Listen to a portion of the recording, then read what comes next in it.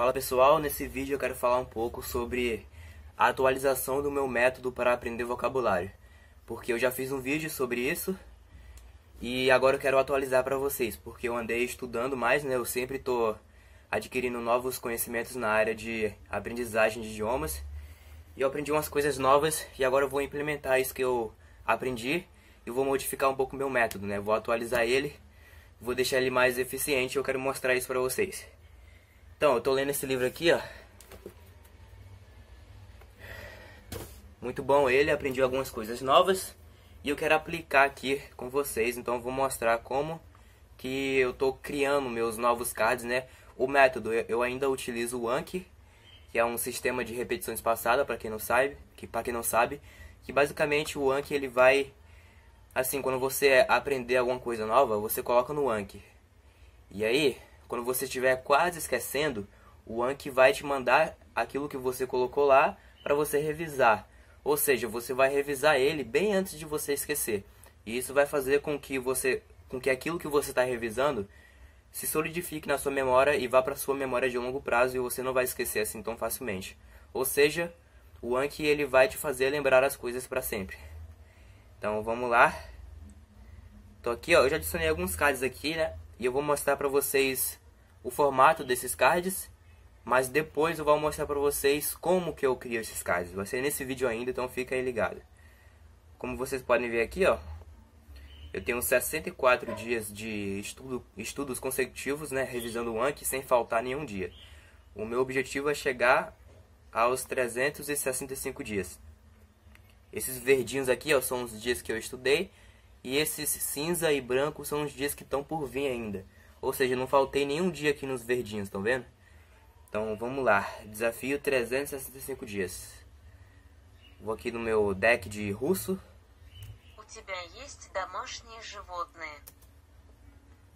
Tá, esse aqui, esse aqui ainda é o card antigo, né? Da forma antiga que eu adicionava. Mas eu vou... Nós vamos chegar lá, vamos revisar aqui comigo. У тебя есть домашние животные? Это может быть именем твоего любимца, а не моего. Tem alguns cards. Eu vou mostrar pra vocês. Deixa eu só revisar aqui porque é melhor dando exemplos. Это может быть именем твоего любимца, а не моего. Это может быть именем... Да. Две недели спустя он возвращается домой с ужасом представляя, что теперь ему придется хоронить домашнего любимца, умершего рядом с едой, запертой в холодильнике. Я обнаружил ключи. Обнаруживать. Pronto. Обнаружить. Aqui tá o meu novo tipo de deck, né? O meu novo tipo de card, quer dizer. Então, aqui, como vocês podem ver, agora eu tô colocando imagens. E eu também tô colocando algumas explicações em russo ou quando eu não acho explicação, eu coloco sinônimos, né? Então, sinônimos da palavra. Deixa eu passar aqui pro próximo. Доедай, пока горячее. Доедать. Coloquei aqui mais uma foto. Então, galera, por que, que, eu, que eu tô fazendo isso agora? É, bom, o conceito é muito simples. Se você quiser aprender um idioma de uma forma eficiente, você precisa adicionar mais vida e emoções ao seu aprendizado. E o que, que eu fiz aqui? Eu coloquei quais são as formas de vida que a gente pode adicionar no nosso aprendizado. Bom, uma delas é a imagem, né? A gente pode associar o que a gente está aprendendo com alguma imagem, que no caso aqui eu coloquei essa imagem aqui que vocês estão vendo. Você também pode adicionar sinônimos, que são aqui o que eu coloquei também, ó. Mas os sinônimos tem que estar no idioma que você está aprendendo, beleza? Não pode colocar sinônimos em inglês, por exemplo, tem que ser em russo para você, para o seu cérebro ir se acostumando e associando certinho. Então, primeiro foi imagens, depois sinônimos. Você também pode adicionar um contexto, que é aqui, ó. Essa aqui é a palavra que eu estou aprendendo, mas essa palavra ela está dentro de um contexto, né? Então tem outras palavras também.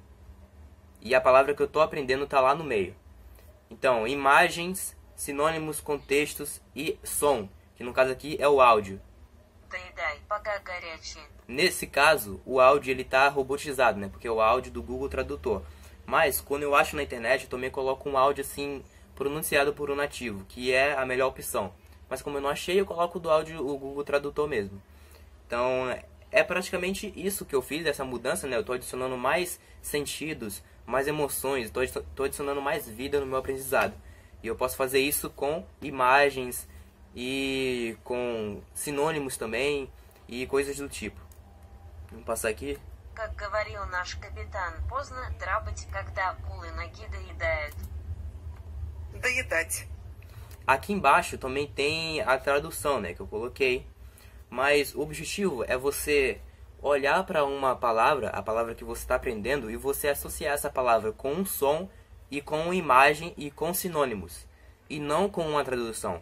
Mas de qualquer forma, eu coloquei a tradução porque eu acho, na minha opinião, a, a tradução é como se fosse mais um sentido, mas ela é, é o último sentido, é como se ela fosse a última opção. Então, primeiro, eu dou preferência para os sinônimos, dou preferência para as imagens e para o som e para o contexto. Depois, em último caso, eu dou para as traduções, beleza? Mas isso não significa que eu estou aqui o tempo todo dependendo dessas traduções. Eu nem olho para elas. Só quando, assim, em último caso mesmo, quando, quando eu realmente não entendi, aí sim eu vou lá e dou uma consultada ali na tradução. Beleza? Então, aqui, ó. Quando eu pensar numa palavra, eu quero que a imagem dessa palavra ela venha na minha cabeça.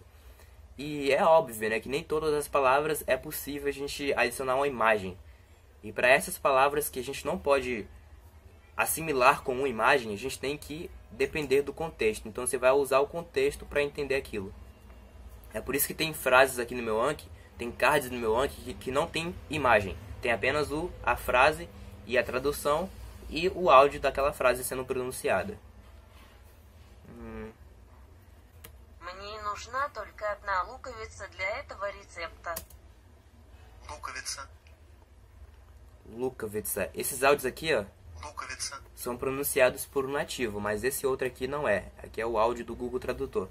Vou tentar aqui achar uma frase que tem que está sendo pronunciada por um nativo para vocês verem. Каково же было его удивление, когда он обнаружил кота на кухне, плачущего, но доедающего последний. Essa aqui, por exemplo, é pronunciada por um nativo. Ворона, черная как уголь. Ворона. Varona. Varona quer dizer corvo. Ворона. Isso aqui é um corvo. Aqui embaixo tem a tradução, né? Mas nem preciso da tradução, na verdade. Aqui é só, só com a imagem já entendo tudo aqui. Mas eu prefiro colocar a tradução assim só pra, né? Vai que, não, vai que acontece alguma coisa e eu não entendo. Então, ela tá aqui só para isso mesmo. Agora que eu já mostrei para vocês esse tipo de card, eu quero mostrar para vocês como que eu crio esses cards.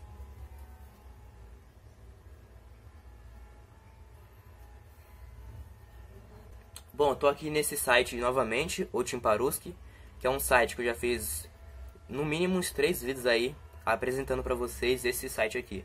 É um site que eu uso bastante. Hoje a gente vai estudar esse pequeno trecho aqui, né? Que é, é uma piada em russo.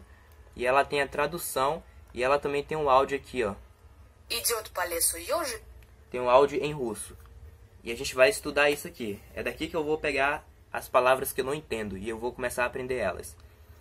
Então, eu vou pegar aqui, ó, essa parte aqui, né? Tem que ser uma parte pequena porque para não ficar muito grande assim e muito pesado na hora da revisão. Então, deixa eu ver aqui. Tá, vou pegar essa parte inteira aqui. Uh, idiot, palhaço, yojik, yojik. Tá. Primeiramente, eu vou pegar as palavras que eu não entendo, que eu não sei o significado. Que no meu caso é essa aqui. Colocar aqui no Tatueba, que eu também já mostrei pra vocês como funciona isso aqui. Tem vídeo aqui no canal, vou deixar na descrição do vídeo aí pra quem ainda não viu.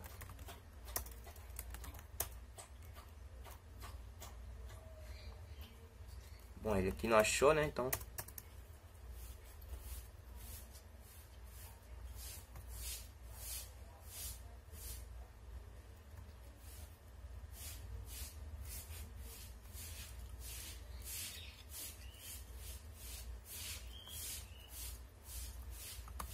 Vou pegar essa frase aqui porque ela é bem simples. Então vou pegar essa frase aqui e vou colocar lá no meu Anki. Deixa eu ver aqui nesse deck. Coloquei ela aqui. E agora eu vou pegar uma imagem para essa palavra aqui. Vou vir aqui no Google. no Google Imagens, beleza? Esse é o bichinho, né? O Yojik.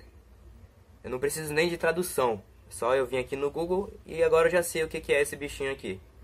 Bom, vou pegar... Galera, essa técnica é muito poderosa porque quando você quer aprender o significado de uma palavra e você vê uma imagem, aquilo não sai do seu cérebro. Aquilo não sai da sua cabeça. Você vem aqui no Google, você vê mais de 20 imagens do mesmo bichinho. Cara, você nunca vai esquecer isso aqui. É muito poderoso. Então, as chances de você não esquecer são muito maiores. Por isso que eu vou pegar aqui, eu vou copiar ele, quer dizer, eu vou salvar ele. Colocar qualquer nome aqui. Depois eu venho aqui nesse, nesse programa aqui, você pode ir no programa que você quiser, tá? Mas eu uso esse aqui porque eu quero eu quero diminuir o tamanho dessa imagem, né? Pra não ficar muito grande lá no meu Anki. Então eu coloco aqui esse tamanho. Isso aqui vocês nem precisam fazer, né? Porque eu gosto de fazer assim. Mas você pode fazer diferente ou você pode não fazer. Então deixa eu copiar aqui. De novo. Eu venho aqui nesse site. Que aqui ele vai me dar... Se a palavra estiver conjugada, ele vai me dar a forma padrão dessa palavra.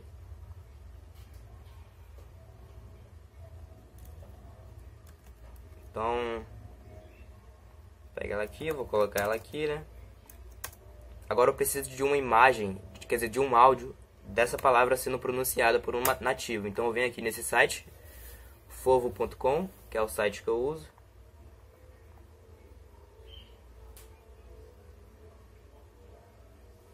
Ёжик. Ёжик. Ёжик. Ёжик. Ёжик. Ёжик. Ёжик. Ёжик. Pegar, eu vou pegar esse aqui que eu gostei mais desse.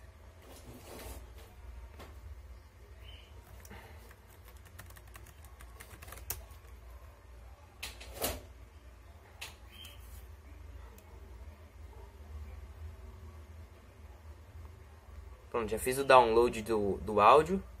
E agora eu só coloco aqui no meu Anki.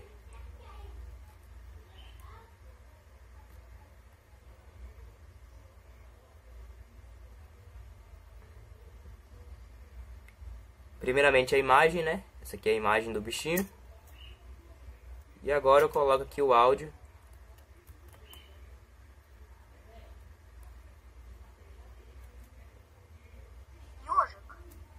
Agora eu vou dar uma...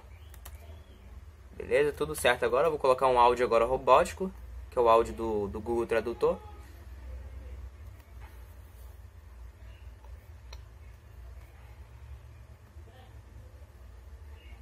Esse, esse aqui não precisa colocar sinônimos ou também não precisa colocar uma explicação né, em russo. Que é só você ver a palavra Yojik e daí você vê a foto, a imagem, né? E aí tem o som e pronto, você já aprendeu. E é isso. Então é isso aí que eu fiz. Vamos ver se eu acho aqui mais um.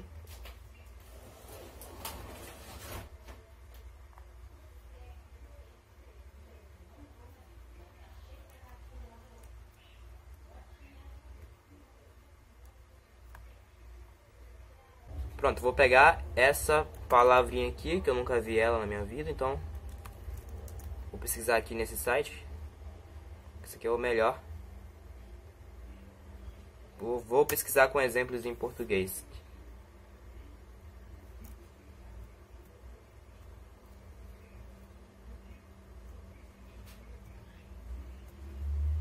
Eu estou tentando achar um exemplo mais complexo, né? Porque esses aqui estão muito simples.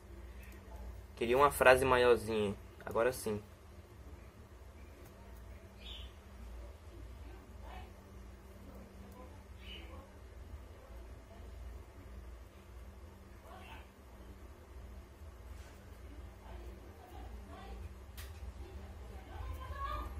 Colocar essa frase aqui, ó. Pegar ela, vem aqui no meu Anki. Vou colocar a tradução aqui, mas eu vou mandando ela lá para baixo. Então, essa palavra, eu não sei se eu consigo achar uma imagem para ela. Mas eu vou colocar lá no Google Tradutor para ver o que aparece. Copiar aqui a forma padrão dela sem ser conjugada.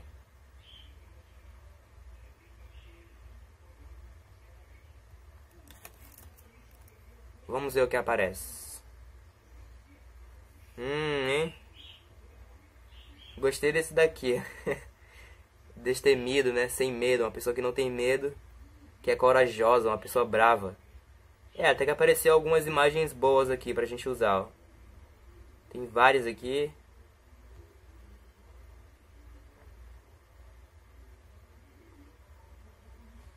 Olha, essa daqui também, ó.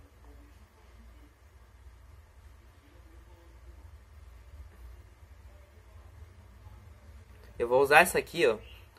Quanto mais louca, quanto mais louca a imagem for, assim, fora do comum, melhor é para você se lembrar dela depois. Então,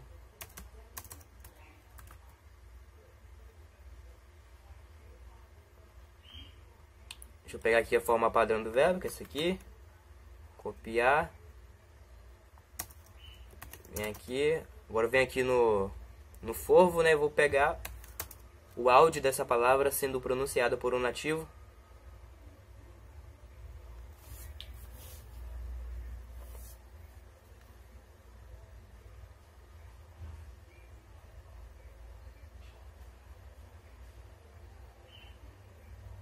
Храбрый. Храбрый. Pronto, já peguei, vou colocar aqui agora. Храбрый. Agora eu vou colocar também a imagenzinha lá que eu peguei.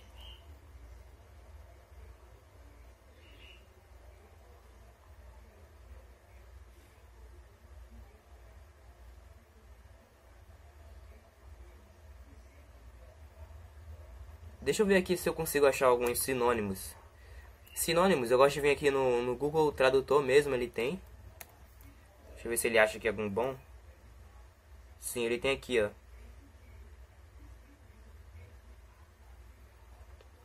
O Google Tradutor, o bom dele é que ele dá até umas definiçõezinhas aqui, ó. Definição em russo. Então isso é bom. Também tem esse site aqui que eu uso bastante para pegar definições. É, é, o melhor que eu achei, né? Então é esse aqui que eu uso. Mas se você souber de outro dicionário em russo que dê definições em russo e que seja bom, escreve aí nos comentários.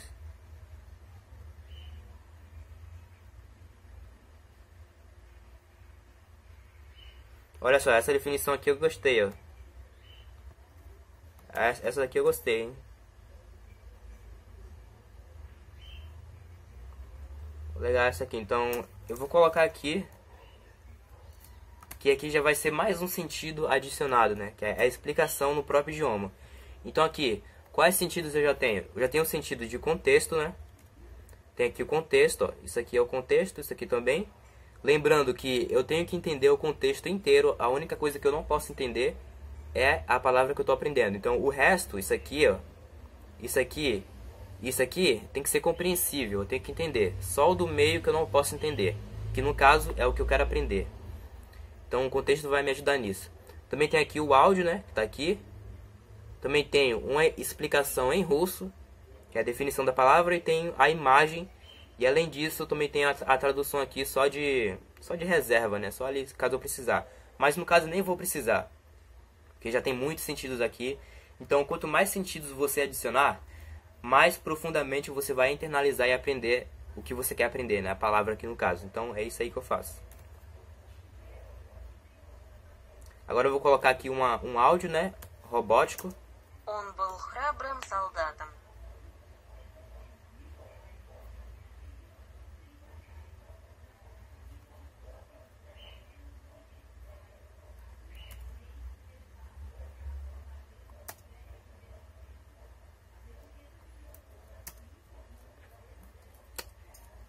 Esse foi o método, galera. Então, eu recomendo que você me siga lá no Instagram porque lá nos stories do Instagram, eu estou postando várias dicas úteis, né, que vai te ajudar a aprender russo mais rápido, ou não só russo, mas como também qualquer outro idioma. Então inglês, sei lá, francês, tudo lá no Instagram. Além disso, eu também posto memes e também posto algumas frases, posto coisas úteis que vai te ajudar a aprender russo, posto alguns memes que eu, que eu pego da língua russa, eu traduzo para português e coloco lá tudo na descrição do meme para você aprender assim através do humor.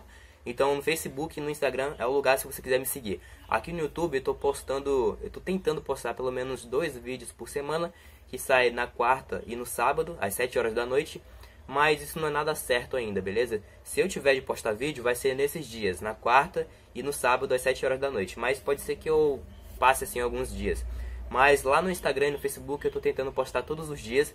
Também tem uma série lá no Instagram, no IGTV do Instagram, onde eu estou mostrando para vocês como que eu estou praticando a minha fala em russo, porque o meu objetivo é começar a gravar vídeos em russo aqui para o canal, então eu estou documentando tudo isso lá no Instagram. Se você quiser saber como que eu estou fazendo para melhorar minha pronúncia, só lá no Instagram, beleza? Só estou colocando lá, aqui no YouTube não. Então é isso aí, galera. Você pode é, fazer uma sugestão aí do que, que eu posso melhorar nesse método. Se você tiver alguma coisa para falar, é só escrever nos comentários. E qualquer dúvida sobre o método aqui que eu estou usando, é só me perguntar também. E é isso aí, sugestões para os próximos vídeos também são bem-vindas. E valeu, até o próximo vídeo.